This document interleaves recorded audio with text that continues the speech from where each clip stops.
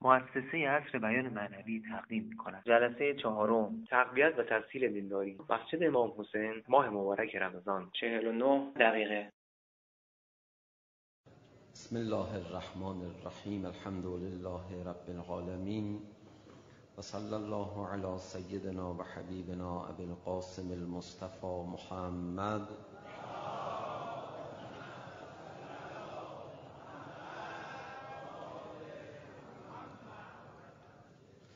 و آله الطیبین الطاهرین المعصومین سیم الحجه بقیت الله الاعظم روحی و ارواح العالمین له الفدا. اعوذ بالله من الشیطان الرجیم. رب اشرح لی صدری و یسر لی امری واحلل عقدة من لسانی یفقه قولی.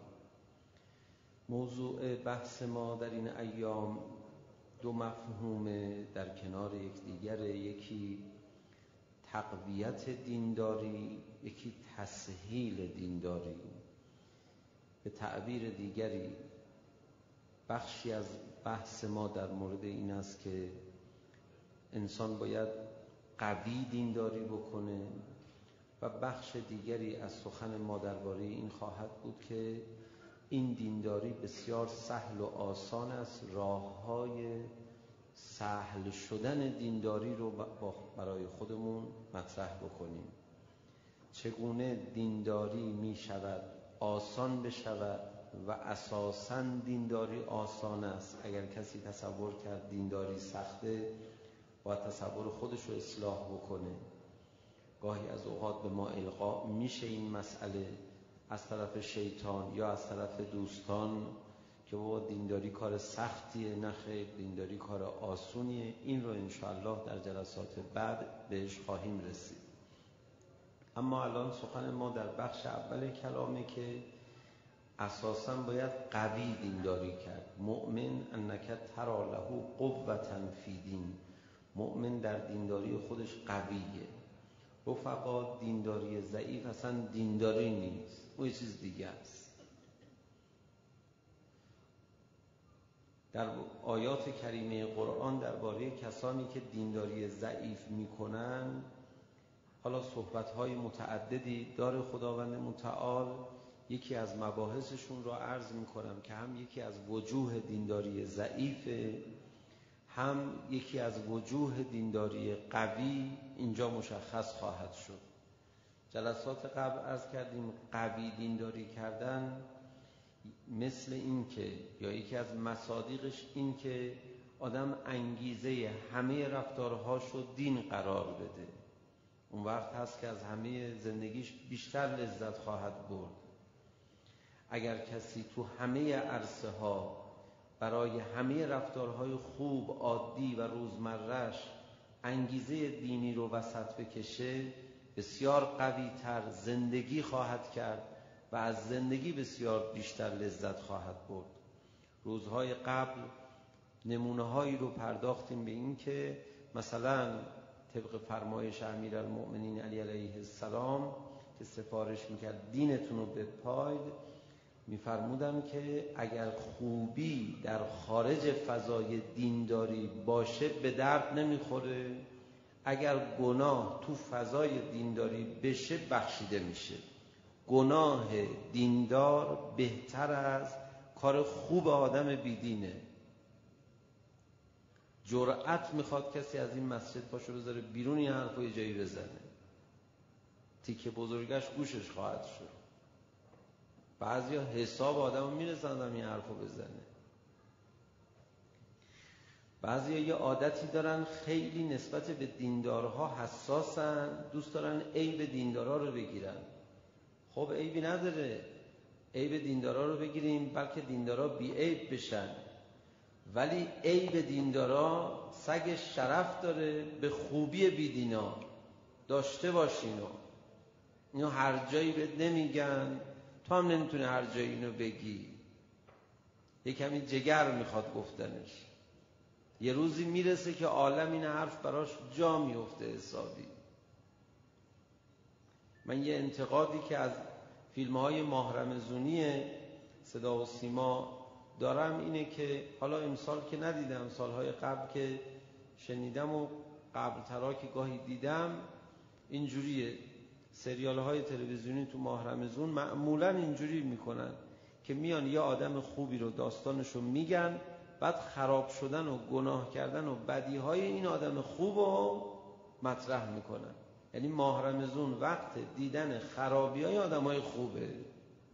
یعنی چقدر راحت آدم می‌تونه جمع بکنه. حالا دیگه کار دیگه نبود که ما اومدیم یه آدم ریشوی بازاری که مثلا خانمش طلاق میده میره سراغ کس دیگه. یه آدم ریشوی مسجدی که میره سراغ مثلا یه خانم دیگه خانم خودش رو ول می‌کنه. یه آدم دکتر ریشوی مذهبی که حالا ریشش مهم نیست. بعضی وقتا ریشو بعضی وقتا بدون ریش هر دوتاشو داشته تلویزیون. مذهبی که این آقای دکتر فریب شیطان رو می‌خوره. یا آدم مذهبی دیگه ای که اصلا تلویزیون این روش درستی نیست. بعضی انگار خوششون میاد یه بچه مذهبی زمین بخوره حرفش رو بزنن. بذارید یه روایت براتون بخونم از امام رضا علیه السلام. داستان عجیبی داره. در این داستان میفرماید که یه نفر اومد پیش امام رضا علیه السلام گفت آقا شیعیان شما بعضی وقتا در راه نبیز می‌خورن. نبیز حالا میگم یعنی چی؟ اون منظورش از نبیز این بوده که شراب می‌خورن. شراب یعنی به اصطلاح چیزی که مست می‌کنه. آقا اصلا گوش نکردن به نصف این کلامش که گفته بود. اون آقا شراب می‌خورن. به خوبا رو گرفتن. ببینید چقدر سخت کار قشنگی نیست. آقا فرمودن شیعیان ما در راه. خب الحمدلله شیعیان ما در راهن. تو راهن. خارج از راه نشدن. گفت آقا راه منظورم سرات مستقیم نیست. راه منظورم تو خیابون. تو خیابون نبیز می‌خورن. آقا نمی‌خواد حرفشو جدی بگیره. بعد آقا فرمودن نبیز حالا نبیز دو تا معنا داره. یه شربت اصل و آب لیمون نمی‌دونم چیه که تو اونجا رسم بوده. یه دونه هم معناش همین شرابه. منتها که میگن نبیز همه منظورشون شرابه. کمتر کسی میره ذهنش سراغ اون. فرمودن این شربت رو میگی؟ خب این شربت تو زمان پیغمبرم میخوردن. این شربت اشکال نداره حرمت نداره. گفت نه آقا شراب منظورم این شراب مست کننده است. از زیر بار شنیدن عیب دیندارها باید در رفت. بعضی دیدی تای بچه مذهبی خطا بکنه آخ کیف می‌کنن بگن. آخ حال می‌کنن اینو نقل کنن. دیدی فلانی رو مسجدی؟ دیدی فلانی؟ آخونده رو دیدی؟ فلانی سپاهی دیدی؟ آقا یک خرابکاری کرده. جیگرش حال میادی که زمین بخور از این بچه مذهبی ها.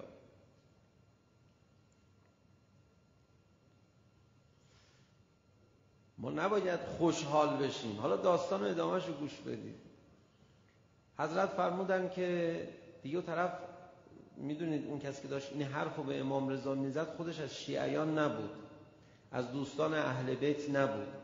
بدش میومد از بالاخره این مسیر. آقا امام رضا فرمودن شیعه شراب نمی‌خوره. یه تعملی کردن. ناراحت شده. بعد فرمودن که اگرم شیعه شراب بخوره بالاخره روز قیامت یه خدای مهربان یه پیامبر رعوف و یه امام شفیعی داره که دستشو بگیره. تو چی؟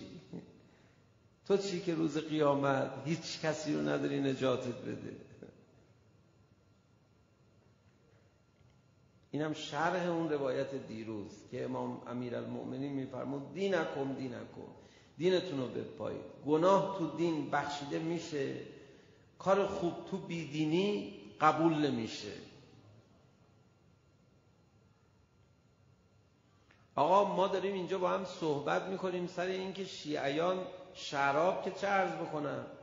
غیبت نکنن دروغ هم نگن نمی‌دونن نگاه حرام هم نکنن. ما داریم برای این صحبت می‌کنیم ما خطمون اینه که دین قوی بشه. ولی اگر یه کسی تو فضای دین معصیت هم کرد این آدم سگ شرف داره به بیدین. یادمون باشه با.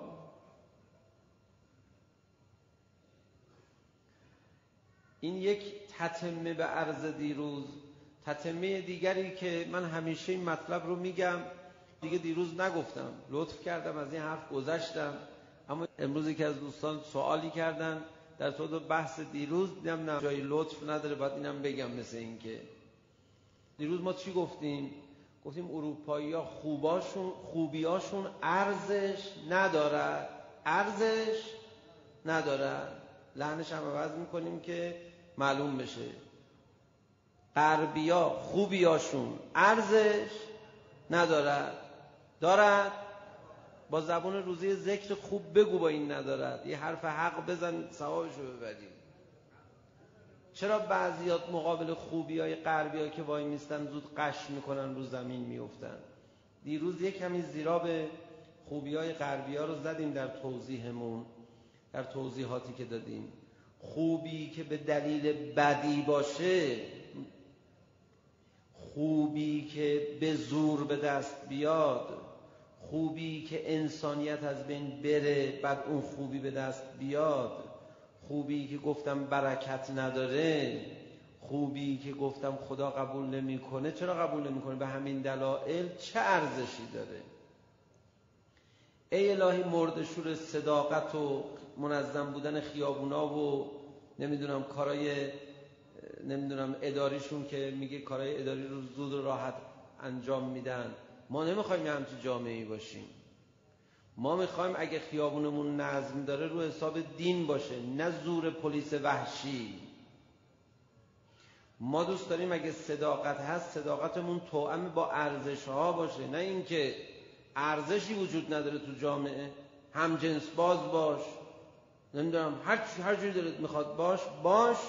اونجا بد و خوب وجود نداره. خب اونجا همه به هم راست میگن. خب این راست گفتن دیگه ارزش نداره. یا مثلا چیکار کن؟ شما به اسم آمریکا به اسم اروپا بعضیا واقعا چقدر احمقن. بیا برو کشورهای دیگر رو قارت بکن بعد مردم خودتو مرفه بکن بیمه بیکاری و خیلی از کوفت و زهرمارهای دیگه بهشون بده بعد مردم دروغ نگن به خاطر پول. خب دزدی که می‌کنن. این رفاهی که آمریکایی ها دارن؟ بخش عمده مال پول ما ایرانیاست. این انگلیسی ها وقتی این همه پول دارن بخشش مال خود ماست. عجیب ما به درهای ما دزدیدن. و هنر کردن غلط کردن. به صد آبا و اجداد غیر طاهرینشون خندیدن. مسخره ها که دروغ نمیگن. مردشون فرهنگ و تمام بیحیثیتی و بیشخصیتیشون رو ببرن. دزدی می‌کنن. مال کشورهای دیگر رو قارت می‌کنن. بعد راحت زندگی می‌کنن بعد مردمشون هم دروغ نمیگن. مردشون رو دروغ نگفتنشون رو ببرن.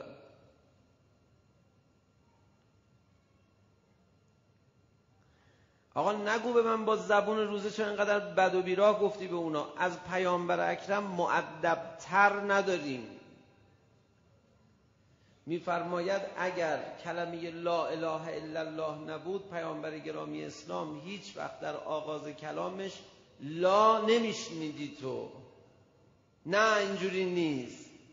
می‌خواست نم بگه میفرماد بله اینجوری البته نیست. خیلی معدب بود پیامبر. وقت پیامبر گرامی اسلام یه نفر اومد یکی از نصرانی ها رو پیشش تعریف کرد. گفت فلان نصرانی چه آدم عاقلیه. پیامبر گرامی اسلام می‌دونید چی فرمودن؟ فرمودن مه. مه به فارسی میشه اه. چه حرفی بود زدی؟ طرف گفت آقا من نگفتم آدم خوبیه اینا. گفتم عاقله. فرمود اگه عاقل بود موحد بود. چه حقی داری یه دونه نصرانی رو تعریف بکنی؟ تحویل گرفتی آقا تحویل گرفتی بعضی چقدر راحت غربی رو تعریف می‌کنن. آقا عاقلانه باشه تعریفت. دیروزم من عرض کردم که مثلا اونجا مقابل پلیس وحشی همه ترسو هم هستن. چون آدم قمارباز عرقخور آدم هرزه نمی‌دونم آدم زن از دست داده زن باز الا آخر نمی‌دونم چی چی از این عبارات نگم که تو زندگی اونا عادی این چیزا. یه همچی آدمی میشه ترسو. پلیس پخ بکنه خودش جمع می‌کنه. بعد نشون میده میگه این چقدر مرتبن ای مردشون مرتب بودنشون رو ببرن یه انسان نیستن. قربون خیابونای تهران خودمون که با تریلی تک چرخ می‌زنه جوونه. ولی انسانه. خطا می‌کنه. یه روزی درست میشه. پلیس ما هم باید حواسش باشه مثل پلیس غربی وحشیانه برخورد نکنه. یه وقت فکر نکنه که با وحشیگری پلیس خیابونا مرتب بشه این همچی تخم دو زرده ایه من بارها به دوستان راهنمایی رانندگی گفتم. گفتم می‌خواید تو مملکت جمهوری اسلامی ایران جریمه کنید کسی رو؟ نمی بیستید جلوی ماشین با انگشت اینجوری کنی؟ تو با انگشت اینجوری می‌کنی بیا پایین؟ تحقیرش کردی. تحقیر نباید بکنی. اعدامی باشه نباید تحقیر کنی. اینکه اعدامی نیست جریمه باید بکنی. تو کی هستی تحقیر می‌کنی؟ تحقیر نباید بکنی. اگه یه کسی بگه آقا اینا پلیس اگه تحقیر نکنه تند برخورد نکنه مردم گرگ میشن. خب امیرالمومنین هم همینجوری برخورد کرد. مردم هم گرگ شدن بچه‌هاشو کشتن. ولی همینجوری باید برخورد کرد. البته مردم ما آدمای خوبی هم گرگ نمیشن. برو با احترام در ماشین بیست بگو که سلام علیکم. صبح شما بخیر. فکر کنم امروز صدقه ندادید. بالاخره ما سر راه شما ثبت شدیم. متاسفم من باید جریمه کنم از داری رو. اگر مرحمت بفرمایید اون کارت رو لطفا بدید. این دیگه پس فردا اینقدر بهش احترام بگذار از شدت احترام آدم بشه خلاف نکنه جریمه نکنه. نه از ترس جناب عالی پلیس. خب تو اروپا اون زندگی مردم وحشی و عقب مانده هم همینجوری از ترس پلیس ما باید به اونا نگاه کنیم.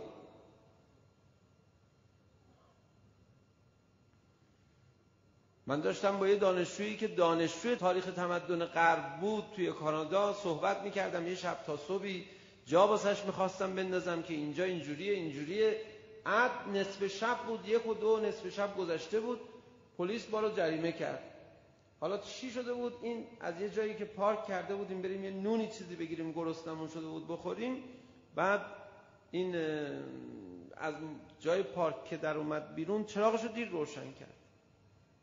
چراغش رو که دیر روشن کرد عد پلیس هم دید و سه ساعت که ما علاف شدیم حدود یک ساعتش مثل قاتله های جانی زیر نورافکن پلیس. رفیق من می‌گفت تکون بخوری ممکنه با تیر بزنن.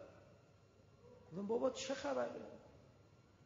عیبه های ما عیبه های ما فدات بشم عیبه های ما هر چی باشه بهتر از خوبی های غربی اینو بشنو. کی گفته ما عیب نداریم؟ کی گفته بسیجی های ما روحانی های ما مدیران مملکتی ما ما مسلمان های مسجدی عیب نداریم؟ ولی این که آدم به عیبه های خودش گیر بده و بعد قش بکنه مقابل غربی ها این خطرناکتر از عیبه های ماست. همین فیلم های سکسی که برادرمون میفرمان که تو میدون هست پلیس جمع نمی‌کنه. آیا ابو ترابی میگه من نمی‌تونم. اینا رو کی اینجوری کرده؟ همون صهیونیستی که غرب به لجن کشیده الگو برای مهادره قرار میده؟ ریشه رو بزن. چرا ریشه فساد رو نمی‌زنی؟ ریشه همین فیلم های سکسی ریشه همین فتنه هایی که تو کشور پدید میاد اختلاف هایی که پدید میاد. کیه که ندونه ریشه اینا تمدن غربه؟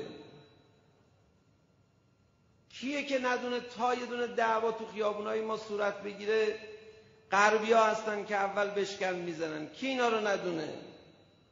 ریشه رو بزن. ما اگر ضعف داریم مال اینه که دانشگاهی های ما که اکثریت مدیران کشور رو تشکیل میدن تو دانشگاه های ما اکثرا درس های تو علوم انسانی تو مسائل تکنولوژی نمیگن. مسائلی رو می‌خونن که این مسائل خیلیاش مقایر با دینه. خیلیاش تبعیت از این فرهنگ غربه. تو اونجا ریشه رو بزن. عیبای خودمون رو بگو. در رأس بله برادرمون حرف خوبی می‌زنن. عیبای خودمون در رأس عیبای ما اینه که نفرتمون از غرب کمه. در رأس عیبای ما اینه که ریشه رو نمی‌بینیم که اونجاست. مگه شما مریض میشی تب می‌کنی میری دکتر دکتر باید بهت مسکن بده. باید ببینه ریشه این عفونت کجاست. ریشه عفونت های خیابونی ما ریشه عفونت های مدیریتی ما کجاست؟ تو همین تمدن غربه. تمدن غرب رو جدی بگیرید وقتی شما منتظر ظهور آقا امام زمان هستید آقا نمیان مگر اینکه در روایات داره هر کسی ادعایی داره برای سعادت بشر بطلانش ثابت بشه. یکیش تمدن غربه. به یک توقفی برسن. اگه غربی ها عیباشون به ما ربطی نداشت نوبت این بود که ما به عیبای خودمون بپردازیم. مگه این روزا ما داریم چیکار می‌کنیم؟ میگیم ما باید قوی باشه دینداریمون حالا برادرمون ناراحت شدن از دست گرفتاری هایی که تو شهر هست و یه دفعه دلشون سوخت برای غربی ها فکر کردن غربی ها دارن مظلوم واقع میشن.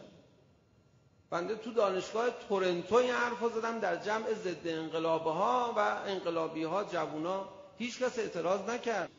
چرا این قوانینی که از غرب گرفته شده اصلاح نمیشه؟ خب شما یه کمی دقت بفرمایید. من تو کلام خودم اشاره کردم. اصلاح قانون یه دانشگاه یه بدنه علمی عظیم پشترش می‌خواد. الان برخی از قوانین بخواد اصلاح بشه بدنه علمی قوی پشترش نیست. این دانشگاه های ما معارف و علومی رو دارن میگن. حضرت امام فرمودن تا دانشگاه اصلاح نشه مملکت اصلاح نمیشه. اینو گفتن یا نگفتن؟ اصلاح دانشگاه هم کار یکی دو روزه نیست. شما نباید انتظار داشته باشید که ما 600 تا کتاب برای همه رشته های علمی تو قفسه های حوزه داشته باشیم. بعد زود اینم تا انقلاب شد دانشگاه ها رو درساشو تعطیل کنیم و همه رو درس رو جابجا کنیم. نه. بسیاری از افرادی که ما الان داریم این حرفا رو به هم دیگه می‌زنیم تو مسئولین مذهبی مملکت ما و غیر مذهبیشون هستن که اصلا این حرفا رو قبول ندارن. اصلا معتقد نیستن ما نباید شبیه غرب بشیم. غرب گرا به معنای مطلق و تند کلمه هم نیستن. اما با این دقتی که بنده دارم خدمت شما عرض می‌کنم با این دقت هم غرب گریز نیستن. افکار عمومی باید نسبت به تمدن غرب جوانهایی که تو جلسه نشستن نسبت به تمدن غرب باید هوشیار بشن. بوده جایی من نقد تمدن غرب کردم اهل رسانه فیلم سازهایی تو جلسه بودن گفتن آقا ما من بعد یه جور دیگه میریم فیلم سازیم تا حالا تصورمون این نبود.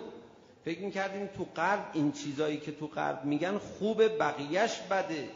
ولی من می‌خوام به شما اینو عرض بکنم با یه دقتی به غرب نگاه بکنید تا اون نفرت پدید بیاد تا معلوم بشه دین چه ارزشی داره. دینداری بخواد قوی بشه خیلی کار می‌بره. اگه کار کم می‌برد امیرالمؤمنین تو اون پنج سال جامعه خودشونو مثل خم رنگرزی می‌زد توی خم رنگرزی و در می آورد رنگش رو عوض می‌کرد. از امیرالمؤمنین قوی تر که نداریم از پیامبر اکرم قوی تر که نداریم. چجوری میشه که پیامبر اکرم وقتی به شهادت می‌رسن بعد از شهادت ایشون چهار نفر بیشتر آدم حسابی باقی نمیمونه همه بیدین میشن. سر اینکه دین قوی نیست. دین مردم زمان پیغمبر هم قوی نبود. این گله پیغمبره این گله آیه های قرآنه که امروز اتفاقا آورده بودیم این آیه های قرآن رو بخونیم که وقت نشد می‌گذاریم برای روزهای بعد ان الله گله پیغمبر از ضعف دینداریه. ضعف دینی اگر برطرف شد اینجور مسائل حل میشه. با داد و فریاد و چهار تا کار پلیس و حکومت و اینا که این چیزا درست نمیشه. شما الان می‌بینید بعضی از حکومت یه انتظاری دارن. نمی‌خوام الان بحث کنم. ان الله ان الله ایام شهادت امیرالمؤمنین ببینیم چرا روز به روز پنج سال حکومت امیرالمؤمنین ضعیفتر شد؟ چرا؟ مگه ایشون حکومت داری بلد نبود؟ مگه ایشون خودش آدم ضعیفی بود؟ در چی ضعیف بود؟ پس چرا؟ چون مردم تکون نخوردن. مردم چه تکونی باید میخوردن؟ اینا رو باید دقیق دونست. همینجوری از دور یه چیزی بگیم که نمیشه که. آقا الان چرا تو جامعه ما دینداری ضعیفه؟ برای اینکه یه سوی چشم و نگاه مردم به تمدن غرب فکر می‌کنن اونجا خبری هست. فکر می‌کنن دین همچین ارزه و همچین اثر خوبی نداره. و اینو خیلی ها معتقدن. خیلی از کسانی که تو رده های مختلف مدیریتی هستن نه جزو سیاسیونی که ما بشناسیم. سیاسیون هی بالا عوض میشن مدیر کلای پایین اکثرا ثابتن. از اونا برید آمار بگیرید اونایی که شاید کمتر هم وقت بکنن یا کمتر بخوان اصلا بیان توی مساجد و پای منبرها. ببینید اعتقادات دینیشون کجاست؟ مگر اون بچه هایی که رفتن تو مدیریت ها از پای منبرها بلند شدن؟ دینو می‌شناسن درست و حسابی. می‌تونن دین رو اجرا کنن. قرض کلام این که توی غرب خوبی هایی که شما می‌بینید این خوبی ها تفسیر که بکنید حقیقتا خوبی نیستن. این تنفر رو از اونجا ما چرا لازم داریم؟ به حکم سوره براعت این تنفر رو به حکم اصل دهم فروع دین خودمون یعنی تولا. این تنفر از قبل رو ما به عنوان یه اصل اساسی لازم داریم. تو زیارت آشورا می‌خونیم. توی ادعیمون همیشه هست. یه زمانی سید جمال الدین اسدآبادی فرمودن که من رفتم غرب در غرب اسلام رو دیدم اومدم شرق در شرق مسلمونا رو دیدم. تو غرب رفتم. اسلام رو دیدم. مسلمون نبود ولی اسلام بود. حالا چند تا از این مظاهر خوبی ها رو تو غرب دیده بودم. و تو شرق اومدم تو جامعه مسلمونا. مسلمونا رو دیدم اما اسلام نبود. این حرف آقای سید جمال الدین اسدآبادی هیچی نیست جز گله کردن از وضع دینداری مسلمون ها جز این که بابا شما که مسلمونید شما که باید اونا بهتر باشید. شما پس چرا خوبی ها رو دست برداشتید؟ اما این حرف حرف غلطیه. تو غرب اسلامو دیدم یعنی چی؟ تو غرب اسلامو دیدی؟ مثلا تو غرب نظم دیدی؟ نظم به چه دلیلی در غرب ایجاد شده؟ این اون بحث اساسی است.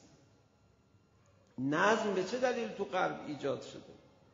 تو غرب مثلا بعضی از مردم میرن اونجا میگن آقا مردم به هم دیگه راست میگن. صداقت رو دیدی؟ صداقت به چه قیمتی ایجاد شده؟ شهید متحری میفرماید دروغ گفتن در یک جامعه دینی بازار پیدا می‌کنه باب میشه. جامعه ای که دینی نباشه کسی دروغ نمیگه. نیاز نداره دروغ بگه.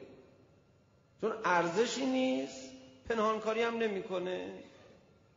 اینجور راست گفتن ارزش نداره. جامعه باید دینی بشه. بعد دروغ و دوچهرگی و نفاق رواج پیدا می‌کنه. بعد باید از این بگذره.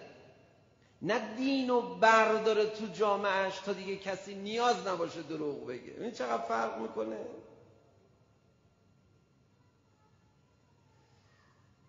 سید جمال الدین اسدآبادی اگه میگه من توی غرب اسلام رو دیدم توی شرق مسلمونا رو دیدم اسلام رو ندیدم من تو شرقش رو قبول دارم. مسلمونا ضعیف دینداری می‌کنن. خود ماها مگه قوی دینداری می‌کنیم؟ اما توی غرب اسلام دیدم این کلام غلط ایشون هست. این همون چیزیست که یه ذره توش غرب گرایی و سطحی نگری وجود داره. هر کی باشه سطحی نگر باشه بالاخره باید حرفش برطرف بشه. مردم رشد بکنن. مردم نمی‌تونن توی یه سطحی باقی بمونن. دینداری باید قوی بشه. دینداری بخواد قوی بشه من امروز اون آیه های قرآن رو می‌گذارم کنار یکی دو جمله بگم و ارزم رو تمام بکنم. دینداری بخواد قوی بشه مردم چجوری قوی میشه؟ با دستور حکومت از بالا بیاد همه قلع و قم بشن اینجوری که دینداری قوی نمیشه که. چرا پیامبر اکرم این کارو نکردن؟ چرا حضرت امام این کارو نکردن؟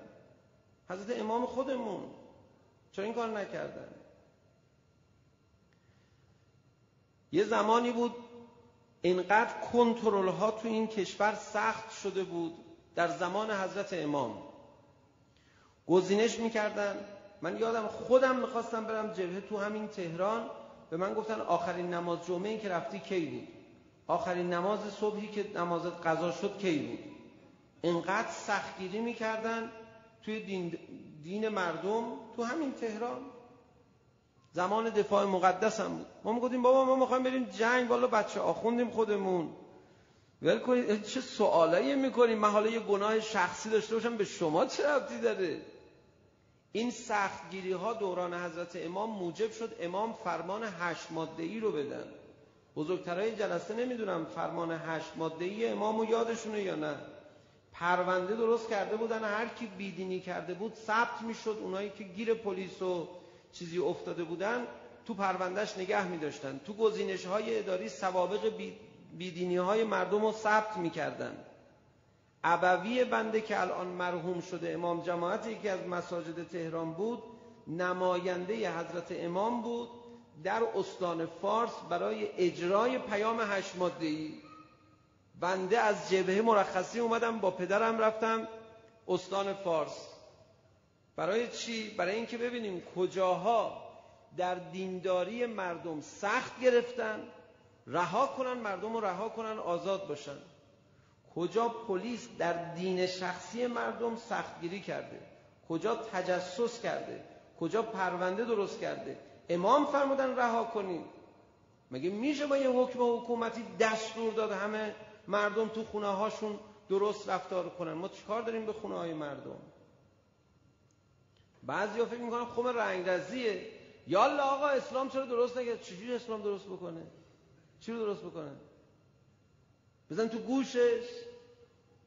امیر المؤمنین پای رکابش منافقینی بودن. می‌گفت پای رکاب من منافق هست. می‌گفتن معرفی کن. میفرمود برید آیه آیه قرآن بخونید. می‌گفتن آقا اسم ببر. میفرمود برید آیه قرآن بخونید. پای رکابی های امیر المؤمنین قاتلین ابا عبدالله الحسین شدند شمر از مجروحین پای رکاب المؤمنین بود. زخم شمشیر در یاری المؤمنین داشت.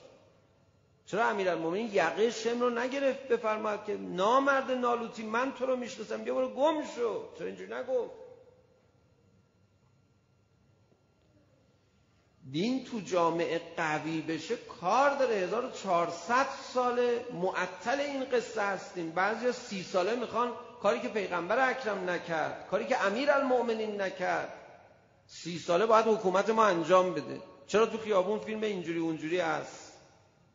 مال بسیرت نداشتن هاست. پیچیده است داستان. که خم رنگ که نیست.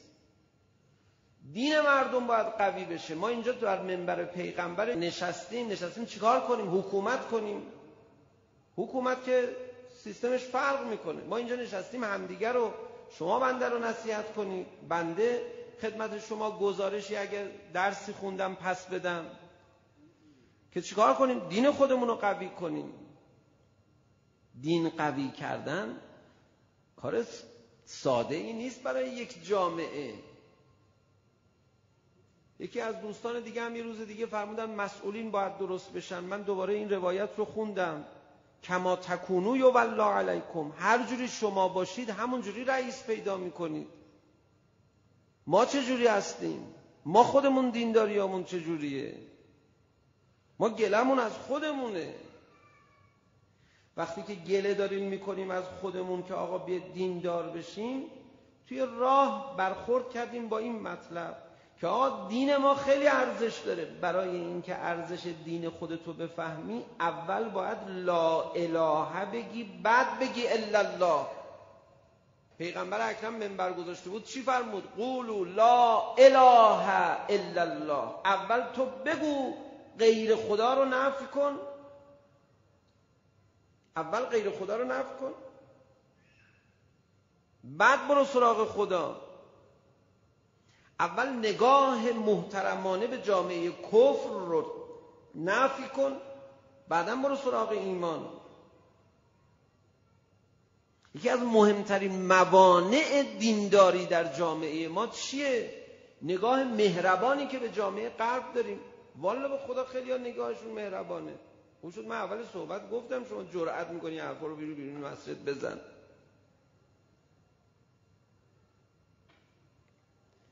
تکون می‌خوری میگه آقا تو کشور غربیه چرا انقدر منظمه؟ خودی انقدر پول ریختن اونجا از قارت کشورهایی مثل ماها. بعضیان نباید ناراحت بشن علیه غرب سخن گفته میشه. اونا ریشه فساد ما هستن. ریشه بیدینی ما اونا هستن. علکی برای دل خوش کنک یه مرگ بر آمریکا بگیم و ردشیم بریم. بعد نبینیم ریشه مشکلات ما کجاست. بعد بخوایم تو سر خودمون علکی بزنیم این کار غلطیه. انتظار بیجا و زیادی از خودمون داشته باشیم کار غلطیه. رشد دین در جامعه یک مسیر قطعی پیروزمندانه با نصرت الهی داره اما مسیرش کنده همیشه تاریخ کند بوده. همیشه تاریخ کند بوده. وقتی به چهار هزار نفر شاگردان امام جعفر صادق علیه السلام رسید بالای صد و خورده ای سال صد و خورده ای سال که توش پیغمبر بوده توش امیرالمومنین بوده توش کربلا بوده توش امام حسن بوده توش امام سجاد بوده. صد و خورده ای سال تازه به یه آمار چهار هزار نفره رسیدن تازه همچی زیاد ایدئال نبودن. دوستان بحثا رو با هم قاطی نکنن. اگه گله مندن از دولت مردها اگه گله مندن از مسئولین مملکتی اون گله هم جا داره به جای خودش. نه عیب زیادی سرشون بگذاریم. بگیم اینا مثل اونایی هستن که اومدن در خانه امیرالمؤمنین رو آتیش زدن. این روز قیامت هم باید جواب بده. تو همین دنیا هم پایین حرف ظالمانه رو آدم خواهد خورد. اینا اینجوری بله مسئولین مملکتی ما 20 نیستن. تمام روزنامه ها و سایت ها تمام نه خیلی از روزنامه ها و سایت ها این صحبت بنده رو دو ماه یک ماه پیش در یک اردوی دانشجویی چاپ کردن زدن. که چی گفته بودم؟ گفتم که ما مثلا دویست و خورده ای نماینده مجلس داریم. چقدر وزیر داریم؟ چقدر استاندار داریم؟ اگه 313 تا آدم حسابی داشتیم امام زمان اومده بود. معلوم میشه اینا آدم حسابی حسابی نیستن.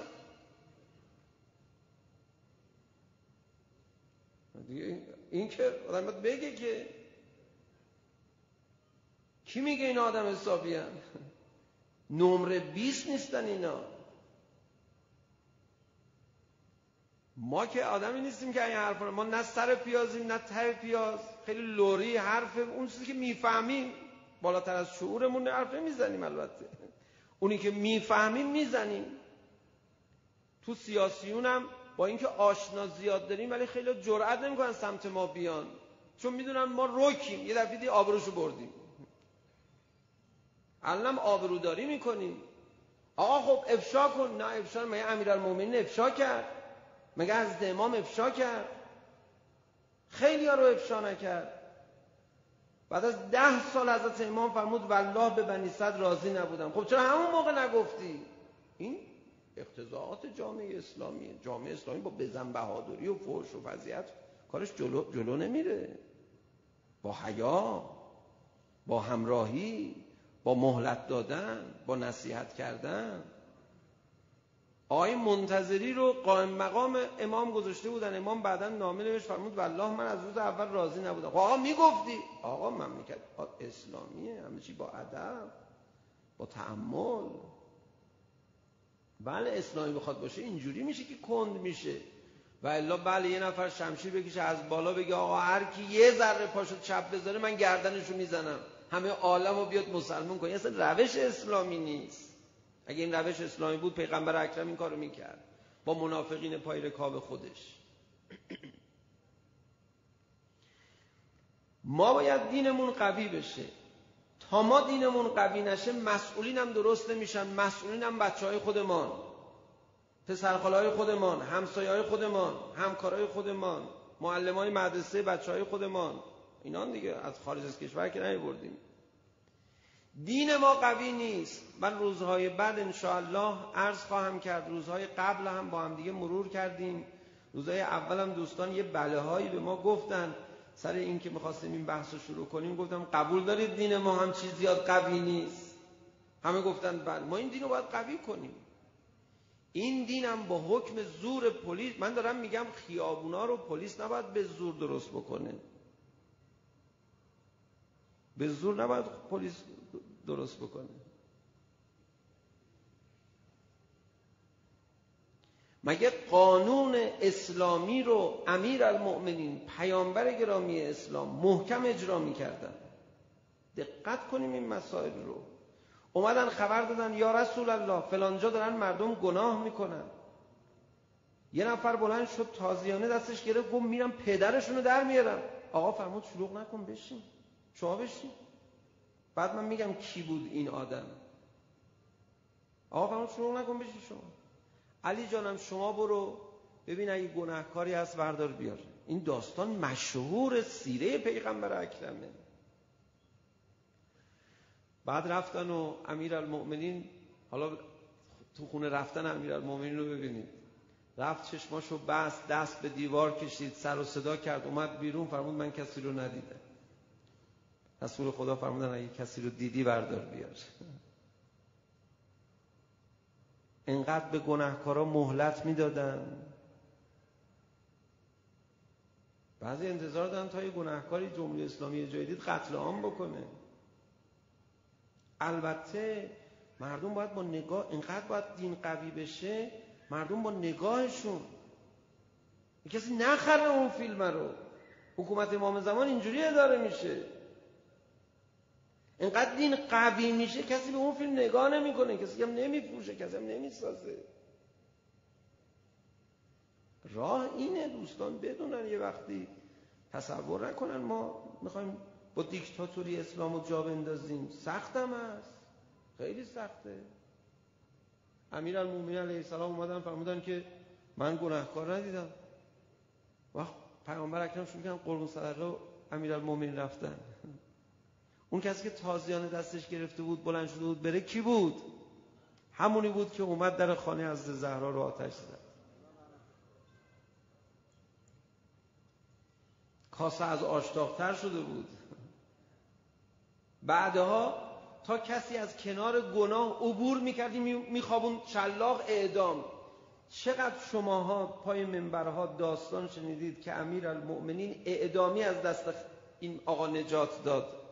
شنیدید یا نشنیدید آقا هی میومد می‌گفت آقا این حکمش اعدام نیست چرا شلوغش می‌کنی؟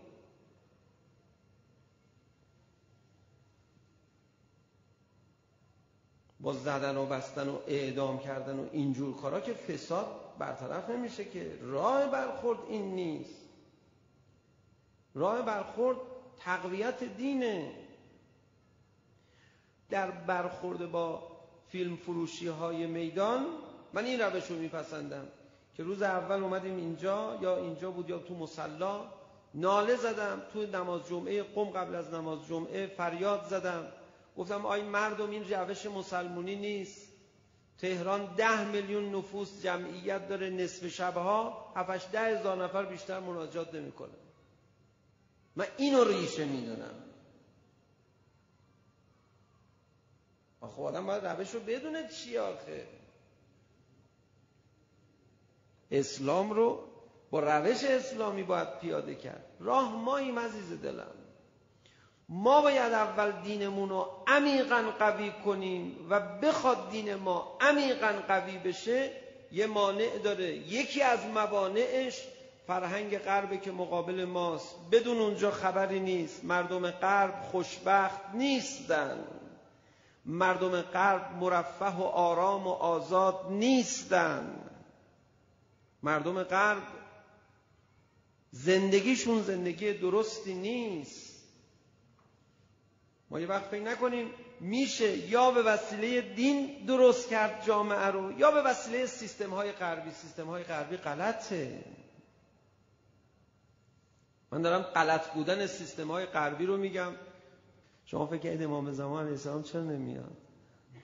اگه می‌خواست بیاد با شمشیر مسائل رو حل بکنه که خب همین الان هم میومد. گردن ما هم از منازبتر می‌زد دیگه. آقا اجازه که نمی‌گرفت از ما. ما چه بخوایم چه نخوایم. ولی آقا میاد گردن بزنه کیا رو ریشه های فتنه رو به یه شرط. به شرطی که ریشه های فتنه رو زد ما خودمون بدتر از اونا نشیم. بگه شما خوب بشین. تا من بیام ریشه های فتنه رو که بزنم شما دیگه آزاد راحت برید به سمت خوبی.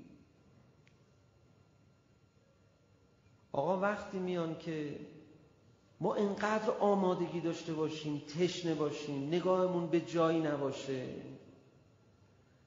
که اشاره کردن از تو به یک اشاره از ما به سر دویدن نه فقط ما مردم عالم. آقا وقتی میان که با مردم اروپا لازم نباشه صحبت بکنن. یه اشاره کنن مردم این زندگی شما دارید. همه بگن نه آقا تمومه. الان ما تو محیط های خودمون می‌خوایم بگیم غربی یا زندگیشون خرابه بعضی دفاع می‌کنن. آقا وقتی میان که مثل امیر المؤمنین قریب نباشن. میومدن به امیر المؤمنین می‌گفتن آقا تو قاطع نیستی. یه جایی حالا انشالله ما ایام شهادت امیر المؤمنین بحث بشه در مورد امیر المؤمنین. اشتباهات زیادی تو جامعه ما هست بعد برطرف بشه. وظیفه ما هم همینه دیگه. کار دیگه نداریم انجام بدیم. اگه بتونیم این کارمون درست انجام بدیم از روش امیرالمومنین وقتی کامل صحبت می‌کنیم جوونه اومد گفت آقا اینجوری که شما دارید میگید یه جوری دارید امیرالمومنین رو معرفی می‌کنید. انگار امیرالمومنین قاطعیت نداشتن. انگار سیاست بلد نبودن. گفتم والا به خدا من واقعیت های تاریخی با سند برای شما گفتم. ضمن این که همین حرفی که شما زدید امیرالمومنین قاطعیت نداشتن سیاست نداشتن در زمان امیرالمومنین جلو چشم امیرالمومنین بهش می‌گفتن. گفت آره شنیدم می‌گفتن. خب برای چی می‌گفتن؟ اینکه آقا با شمشیر حل نمی‌کرد دیگه. از اون روش های آقا منشانه خودش حل می‌کرد. یه عده فریب می‌دادن مردم یه عده زیرابی می‌رفتن. یه عده پنهانکاری می‌کردن. سخن از امیر المؤمنین به میان آمد روزه امیر المؤمنین بخونم از مجلس بریم. داغ دل دلمون رو نسبت به امیر المؤمنین و مظلومیت هاش تازه تر بکنیم رفقا. امیر المؤمنین وقتی دست به قبر فاطمه زهرا سلام الله علیها می‌کشید در اون روایت داره وقتی خاک تربت فاطمه رو صاف می‌کرد هی صدا می‌زد یا رسول الله. داغ فاطمه برای من سنگین بود اما صبر می‌کنم. اما صبر می‌کنم. یا رسول الله صبرم کم شده اما صبر می‌کنم. اما تاب میارم ببینید مردم کوفه در دوران حکومت علی با علی چه کردن؟ که شب نوزدهم علی صدا زد یا رسول الله دیگه صبر نمی کنم بگو خدا مرگ علی رو برسونه. چکار کردن با علی؟ چه خونی به جگر علی کردن؟ با قرآن. آخرین جنگی که با علی کردن با قرآن به جنگ علی رفتن. فکر کردید با کفر رفتن؟ با قرآن رفتن. مذهبی ها رفتن به جنگ امیر المؤمنین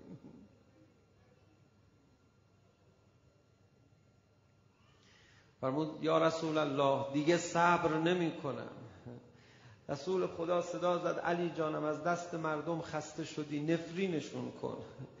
دعا کن علیه اونها نفرین کن من آمین بگم دعات مستجاب خواهد شد. یه وقت علی دستشو در عالم رؤیا رؤیای صادقه علی دستشو بالا برد. صدا زد خدا یا علی رو از این مردم بگیر. و اون شب شب آخر عمر علی ابن ابی طالب بود. ألا لعنة الله على القوم الظالمين؟